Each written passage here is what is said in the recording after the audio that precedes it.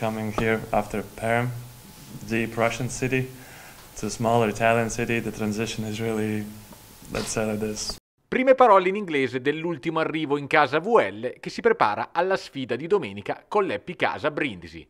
Marek Smejeris alla Forte Lettone arriva a Pesaro con entusiasmo, ritrovando coach Banchi che lo allena in nazionale e che lo conosce come ricordato da Stefano Cioppi, direttore sportivo della VL e traduttore in occasione della presentazione di Meyeris. Di sicuro la, presenza di Luca è stata importantissima per scegliere di, di venire qua, perché Luca mi conosce bene, mi allena in nazionale e quindi se Luca mi ha chiamato eh, in questo momento della stagione, siamo alla fine della stagione, mancano partite, poche partite decisive, significa che mi vede come aiuto per, per questa squadra. Già dopo pochi allenamenti, Meyer si dice smanioso di dare il suo contributo alla causa pesarese.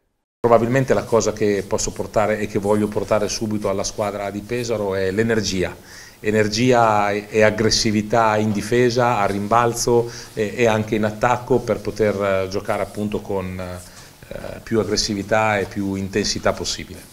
Meyeris arriva dal Parma Perm, campionato russo, dal quale il Lettone è stato costretto ad andarsene da una settimana all'altra in seguito al precipitare degli eventi bellici.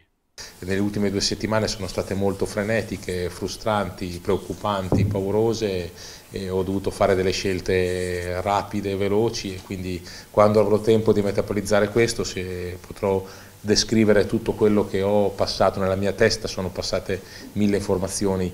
Dal basket al calcio, la Vispesaro riparte dalle ferite urticanti del 3-0 subito a Gubbio, ospitando sabato alle 17.30 il Grosseto, ultimo in classifica, ma tutt'altro che arrendevole, come ricordato da mister Banchini. È il Grosseto che deve vincere per forza.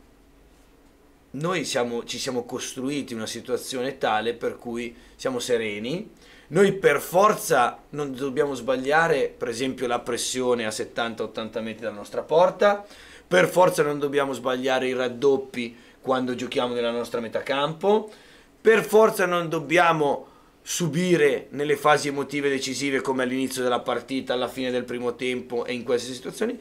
Noi per forza dobbiamo fare 4-5 tiri in porta nel primo tempo e noi possiamo dire che per forza dobbiamo dentro le fasi di gioco trovare sempre un smarcamento a scarico dopo una giocata verticale. Ma chi deve vincere per forza è il Grosseto che viene da quattro sconfitte ha vinto una partita in casa con l'Imolese ed è ultima in classifica. Quindi noi abbiamo una condizione ideale per concentrarsi per concentrarci sul nostro percorso e fare meglio tutto quello che nell'ultima partita non è andato